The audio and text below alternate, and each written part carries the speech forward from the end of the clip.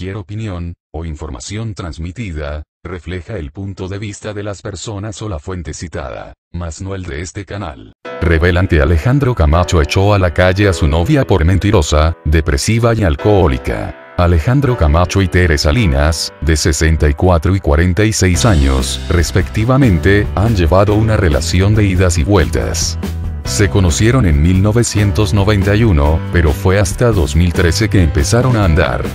Un año después terminaron, pero a finales de 2017 se reencontraron y todo parecía ir de maravilla, pues se fueron a vivir juntos y tenían planes de boda. Pero todo se vino abajo hace tres semanas, cuando el primer actor la corrió de la casa que compartían porque no soportó el alcoholismo que padece la también exmodelo, además de que la sorprendió en una fuerte mentira.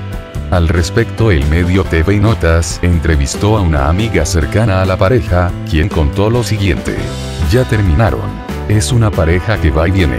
Ya habían terminado hace cuatro años, pero en octubre del año pasado se dieron una nueva oportunidad en el amor y se fueron a vivir juntos hace 10 meses, pero ahora sí parece que su separación no tiene vuelta atrás. Es la segunda vez que Alex la corre de la casa y en esta ocasión discutieron muy fuerte.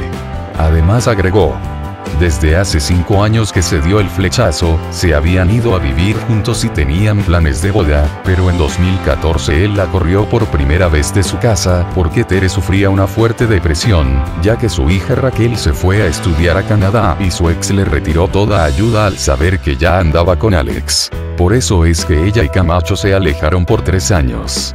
Y otra vez la historia se repitió, y Alejandro se fastidió de verla en muy mal estado todo el tiempo por entrarle duro a la bebida. Dicha fuente reveló cómo sucedieron las cosas entre ellos. Tere volvió a estar muy deprimida, pero ahora sin razón alguna, pues su hija ya regresó a la Ciudad de México, pero simplemente se la pasaba acostada la mayor parte del tiempo sin arreglarse, sin hacer ninguna actividad en la casa. No hacía nada y eso a cualquier hombre le cansa generalmente era alrededor de una botella diaria o dos six de cervezas, por eso era frecuente verla ahogada en el alcohol. Al final comentó que Alejandro intentó ayudarla a salir de sus problemas. Claro, la regañaba y trató de sacarla de eso, pero Tere solo se controlaba cuando tenían reuniones con sus amigos.